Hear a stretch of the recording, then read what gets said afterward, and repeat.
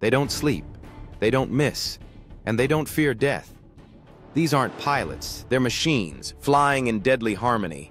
This is the rise of drone swarms. Hundreds of AI-powered drones moving like a hive, hunting together, striking without warning. No commander, just code. No delay, just destruction. One swarm can take out a base in seconds, too fast for human response.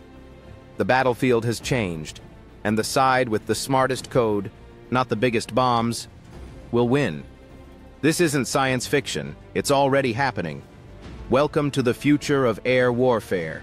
In this new era, strategy is crafted in algorithms and battles are won through sheer computational power. Military forces around the globe are adapting, scrambling to keep pace with the relentless evolution of technology.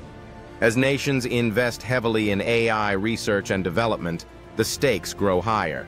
The next conflict may not feature soldiers on the ground, but instead rely on lines of code running simulations and executing missions with pinpoint accuracy.